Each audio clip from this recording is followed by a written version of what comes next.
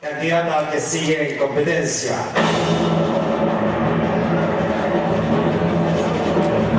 Victoria Johnson.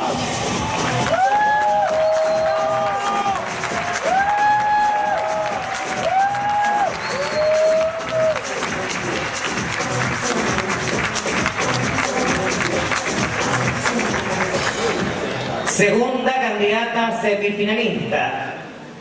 Señorita.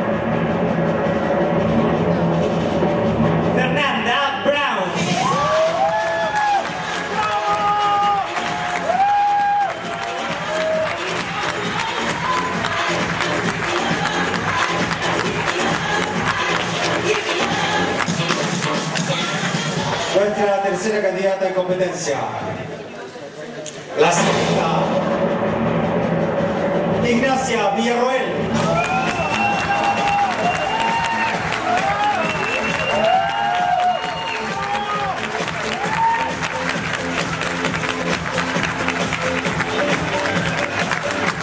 Pasa también a la siguiente etapa.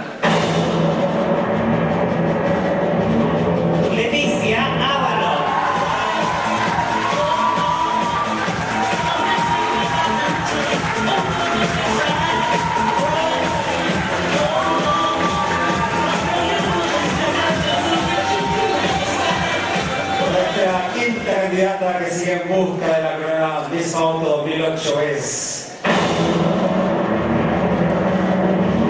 Amaya Smith.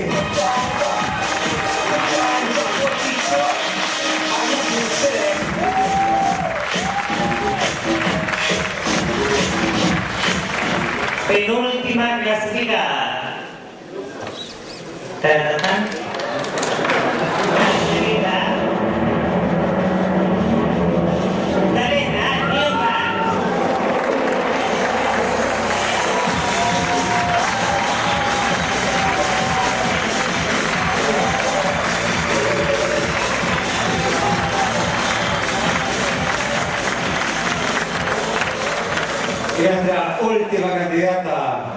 Es. Michelle Osadón.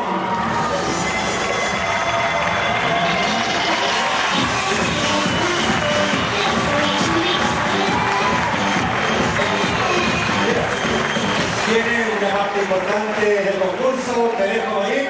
Yo me voy con el resto de las candidatas. Muchachas, acompáñenme por favor. Bueno, las chicas se quedan conmigo, Ramón. Bueno, ya, chicas, un paso atrás, por favor, porque ahora viene todo desde cero. Nuestro jurado nuevamente ha recibido una hoja de votación en donde van a tener que evaluar las siete clasificadas para pasar a la siguiente ronda por sus preguntas. Vamos a iniciar la entrevista en orden de clasificación. Saludemos a la señorita Victoria Johnstar.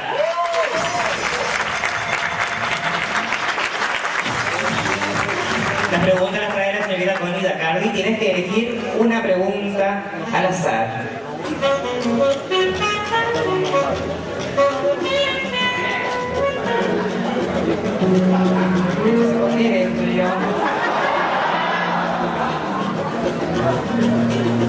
Ahí sí, ok. Vamos a ver, Victoria. Pregunta número uno te tocó. Dice, ¿qué opinas, Victoria, de que Isla de Pascua no haya sido elegida entre las siete nuevas maravillas del mundo? Bueno, en mi opinión, creo que Chile se merecería eh, que Isla de Pascua perteneciera. Creo que una gran belleza ante todo el mundo y merecemos una oportunidad nosotros. Gracias, Victoria Johnston. Un aplauso para nuestra primera clasificada. Segunda clasificada, la señorita Fernanda Brown.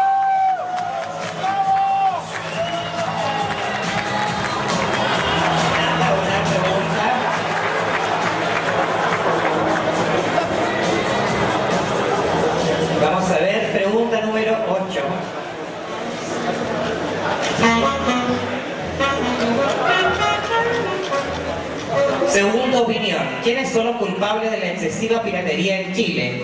¿Los que las realizan, los que las compran o las empresas por los al- altos precios de los originales?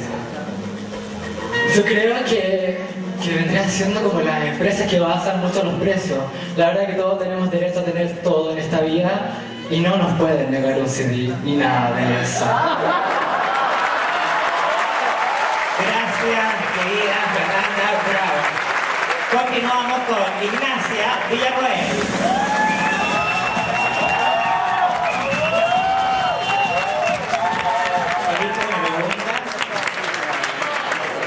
una pregunta. Número 6 para Ignacia.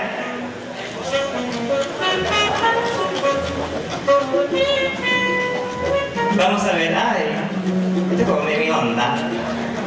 Dice, Perolais y Pokémonas se diferencian según tú, por su estilo de look y gustos o por su clase social. Evidentemente es un complemento, pienso que se, se diferencian por, por el look, eh, la manera de vestir, la música, pero creo que también está la parte social. No creo que siempre sea una pelo nice tenga que ser de clase alta y tampoco una Pokémona de clase baja. O sea, creo que es de las dos, de las dos clases. Gracias, gracias. Continuamos con la señorita Leticia Ábalos.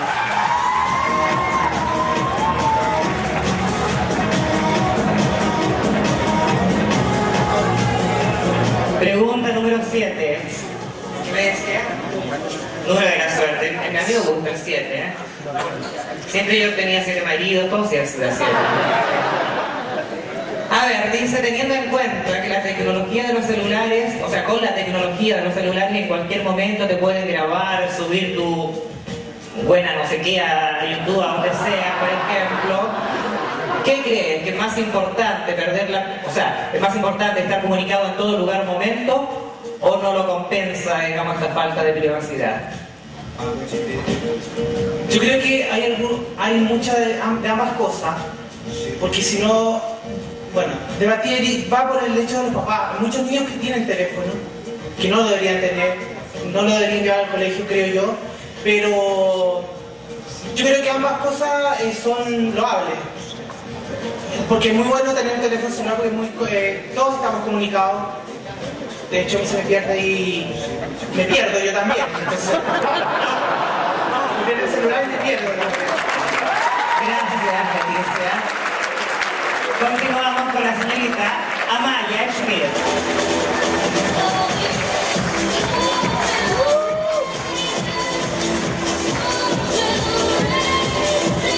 Pregunta número 5.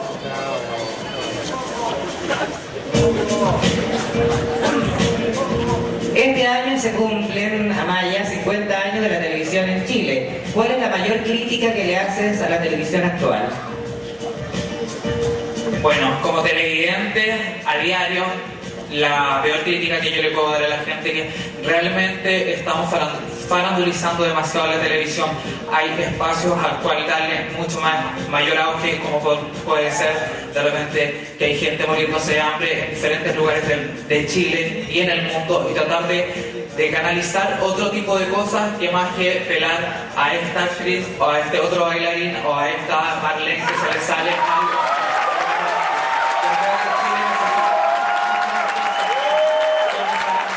necesita que hoy día estamos en un mundo donde las mujeres están siendo muy golpeadas y yo creo que ahí en vez de dar espacio para que pelen vulgarmente hablando a otras colegas actrices y cantantes deberían enfatizar más la violencia de la mujer gracias Gracias. Continuamos con Talena.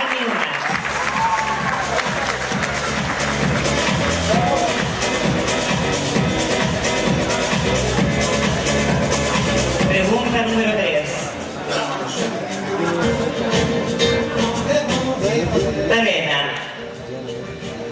¿Qué opinión te merece la mujer que ofreció su cuerpo para juntar dinero a favor de la campaña solidaria Teletón? bueno era fue por una buena causa pero, pero yo no sé si lo podría hacer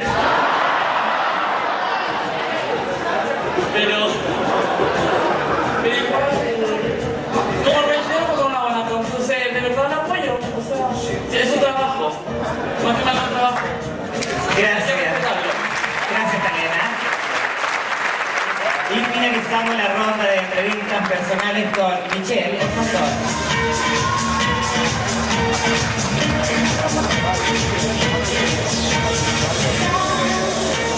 Pregunta número 2.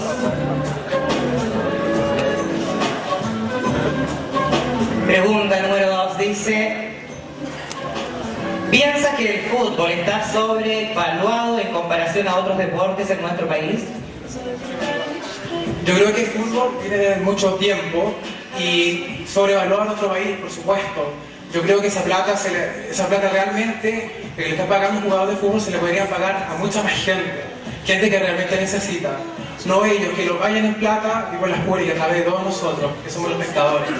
Yo creo que hay muchos más deportes que también son, tienen que valorar, como patinaje, natación y muchos otros más, que lo he dejado de lado. ¿Por qué? Por el fútbol. Muchas gracias, Michelle.